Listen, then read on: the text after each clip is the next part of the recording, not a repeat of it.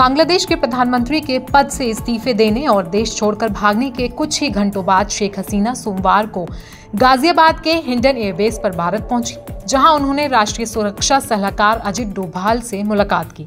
सूत्रों ने बताया है कि उन्हें एक सेफ़ हाउस में ले जाया गया है और उन्हें यूनाइटेड किंगडम जाने की संभावना जताई जा रही है। हालाँकि शेख हसीना ने ब्रिटेन से अपने लिए पनाह मांगी है, लेकिन अभी तक उन्हें ब्रिटेन की ओर से कोई ग्रीन सिग्नल नहीं मिला है। सोमवार रात को प्रधानमंत्री मोदी ने कैबिनेट कमेटी ऑन सिक्योरिटी, यानी कि सीसीएस की बैठक की और बांग्लादेश की स्थिति का जायजा लिया। बैठक में गृह मंत्री अमित शाह, रक्षा मंत्री राजनाथ सिंह, विदेश मंत्री एस जयशंकर, वित्त मंत्री निर्मला सीतारमन और खुफिया एजेंसियों के वरिष्ठ अधिकारी मौजूद थे।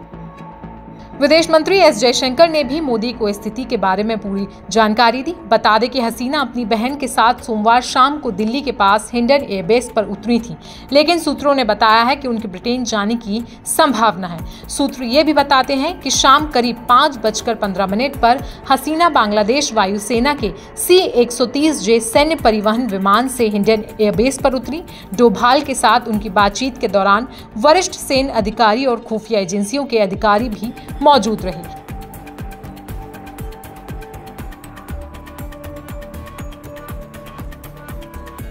मीडिया के सोर्स बताते हैं कि शेख हसीना अपनी बेटी साइमा वाजेद से भी दिल्ली में मुलाकात कर सकती हैं। बता दें कि साइमा दिल्ली में ही रहती हैं और वर्ल्ड हेल्थ ऑर्गेनाइजेशन के लिए साउथ ईस्ट एशिया के रीजनल डायरेक्टर के रूप में काम करती हैं। तो वहीं बीएसएफ के डीजी दलजीत चौधरी लगातार दूसरे दिन बांग्लादेश भारत बॉर्डर के दौरे पर हैं। वो आज पश्चिम बंगाल के पेट्रापोल क्रॉसिंग का दौरा करेंगे। भारत बांग्लादेश बॉर्डर पर बीएसएफ जवानों ने 24 फोर इंटू सेवन अलर्ट पर रहने का निर्देश भी दिया गया है। बीएसएफ के महानिदेशक सुंदरवन इलाके का पहले ही दौरा कर चुके हैं।